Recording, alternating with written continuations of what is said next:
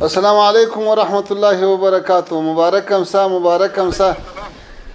دا سپلو خیر اوسې تاسو مبارک ډیر زیات زیات او ټول ته دې ټول هیواد ته دې دا بریا مبارک دا سه په لومړي ځل باندې سیمي فاینل ته ووتلو دا یو ډیر لوی بریا ده او د دینن بریا او د تیر ورځې بریا دا یو یو لوی زیری دی او لوی خوشحالي ده الحمدلله چې افغانان په هر ډګر کې وړاندې روان دي مو خدا سیاست او پالیسي د سي لوبي باید له سیاست نه جلا وساتو او د تاسو دغه کامیابی د ټولو د خوشحالي سبب شو او د لوبو په برخه کې چې کوم زیار او تکلیف تاسو کاږي ټولو ځوانانو ته یو ښه فکر ده ځوانان له ډېرو غلطو فکرونو، له نشو او له اختلافاتو نه را ګرځي. دا ټولو کې د تاسې خیر ده، نو داسې تاسې په هر میدان کې د افغانانو شمله هسکه ساتئ. تاسې ته دې مبارک وي، ټولو افغانانو ته دې مبارک وي او الله تعالی دې نور توفیق درکړي. په مخ کې دوه لوبې چې پاتې دي،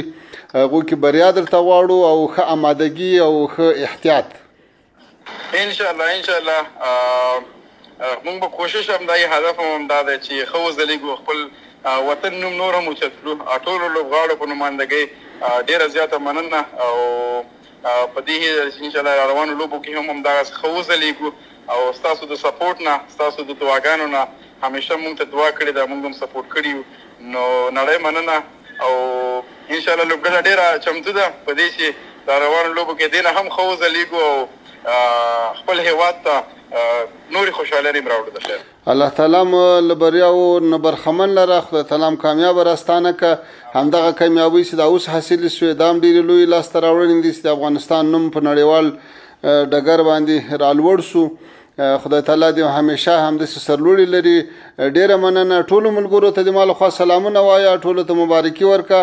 او الله تعالی هم کامیاب لره ټولو ته به ان شاء الله مبارکي ورسوم نړۍ مننه خوشاله اوسه خدای ملسه په مخه ښه په مخه ښه